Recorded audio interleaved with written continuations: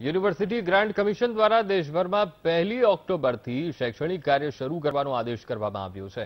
પરંતુ ગુજરાત યુનિવર્સિટીમાં આજથી શૈક્ષણિક કાર્ય શરૂ થઈ શક્યું નહોતું. ગુજરાત યુનિવર્સિટી દ્વારા હજી સુધી એડમિશન કાર્યવાહી પૂર્ણ થઈ શકી નથી. પ્રથમ રાઉન્ડમાં પણ વિદ્યાર્થીઓને એડમિશન મળી શક્યા નથી. યુનિવર્સિટીએ જે કંપનીને એડમિશન માટેનો કોન્ટ્રાક્ટ આપ્યો છે, તેના દ્વારા વારંવાર થતી ટેકનિકલ ખામીને કારણે વિદ્યાર્થીઓનું સત્ર સમયસર શરૂ થઈ શક્યું નથી. તો બીજી તરફ રાજ્યની ખાનગી યુનિવર્સિટીઓમાં આગામી સમયમાં ઇન્ટરનલ પરીક્ષા પણ શરૂ થવા જઈ રહી છે.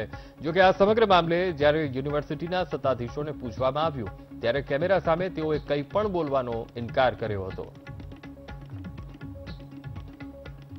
ગુજરાત યુનિવર્સિટી ગોકળગાયની ગતિ એડમિશન પ્રોસેસ કરી રહી છે. અત્યારે નવી એજન્સીની જે નિમણૂક કરવામાં આવી છે, જે રાજ્ય સરકારની એજન્સી છે, જ્યારે જ્યારે આપણે પ્રાઇવેટ યુનિવર્સિટીની વાત કરીએ GLS university Ahmedabad university LJ university જેવી યુનિવર્સિટીઓ છે, તેમનો અડધાથી વધારે અભ્યાસક્રમ પતી ચૂક્યો છે.